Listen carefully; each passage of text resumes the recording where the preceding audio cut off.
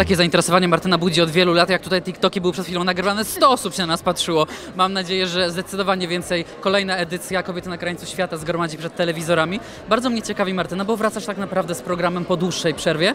Czy, było jakiego, czy były jakieś plusy tej sytuacji? Czy i dla Ciebie ta przerwa dobrze zrobiła pod jakimś względem?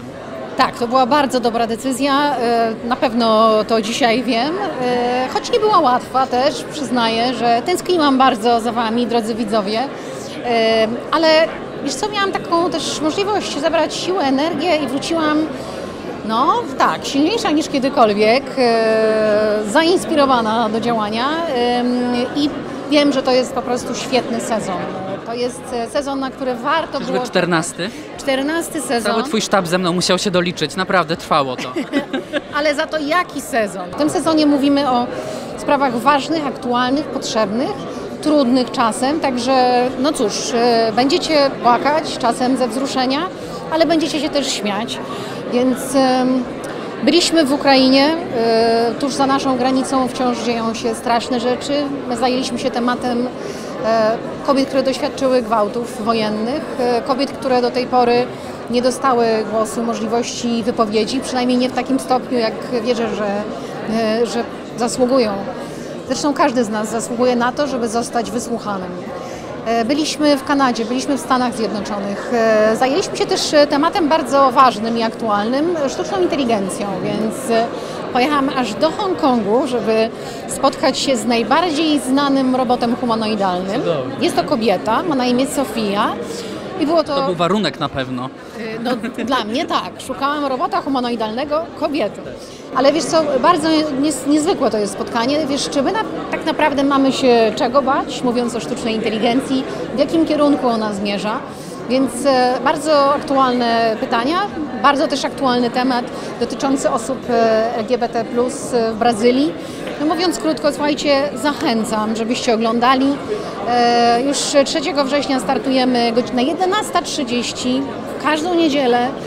Jesień jest nasza, prawda? Po śniadanku z kawą to zawsze jest wasza stała pora, fantastyczna zresztą.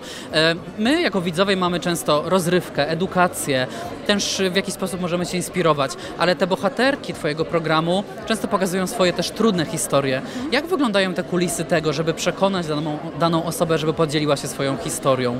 Kto jedzie? Jak zachęcacie? Jak to wygląda? Wiesz co, właśnie ja nigdy nie, nie chcę nikogo przekonywać, tak? I to jest jakieś, nie wiem, czy to jest e, zrządzenie losu, czy to jest e, kwestia Bo to nie tego... zadziała, że to Martyna Wojciechowska i to jest Nie, właśnie ten Nie, nie, tam na krańcach świata mnie nikt nie zna i na szczęście, więc jadę z czystą kartą.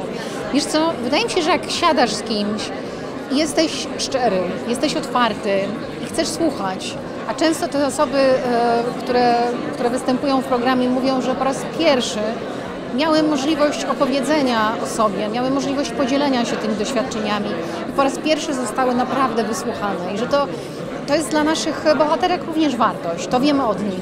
Dla mnie jest to oczywiście ogromna wartość i ogromne zobowiązanie, bo to są bardzo intymne spotkania.